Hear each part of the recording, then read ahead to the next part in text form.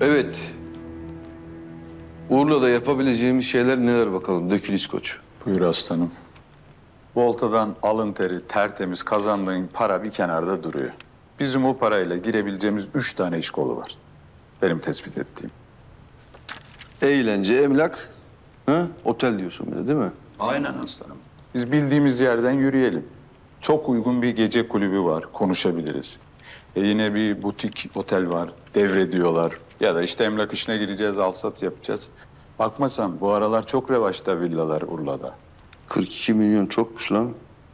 Yok ya bu eğlence mekanlarının falan derdi çok şimdi oralara girmeyelim tekrar. Emlakta, otelde onlara da bir soğuğum açıkçası. Sende ne var? Turgut Efendi.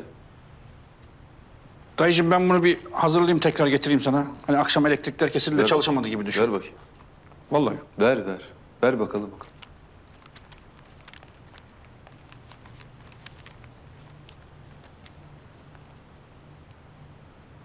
Urla'da yapılabilecek işler listesi.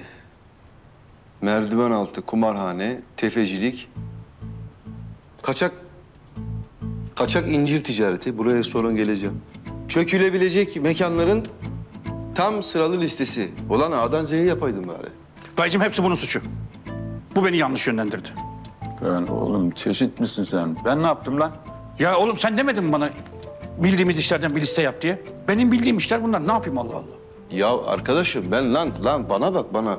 Ben dün sizinle ben dün sizinle konuşmadım. Tertemiz bir dünya açacağım. Tertemiz bir sayfa açacağım. Kendime demedim mi? Dün benim evimin bahçesinde varil varil kara para yakmadık mı arkadaş? Ben ne istiyorum? Ben vergimi ödemek istiyorum ya. Hayattaki en büyük problemimin KDV stopaj olmasını istiyorum arkadaşım. Benim bunu istemem suç mu? Çok mu bir şey istiyorum? Yok dayıcığım. Lan kaçak incir ne? Dayıcığım öyle deme o işte çok iyi para var. Yani tabii Ege yerini kesinlikle tutmaz ama yani onun kuru olarak satarsak var ya çok büyük para buluruz haberin olsun. Ya Turgut senin ben Aslan, Hala. Hala gel. Ha ne oldu? Hoş, geldin. Tam zamanda geldin. Hoş geldiniz. Ee, biz, hadi gidin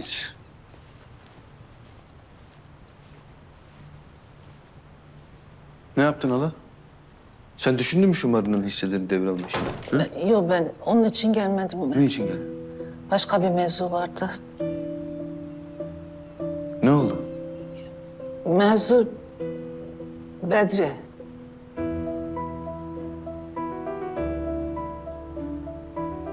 Bir de İlyas.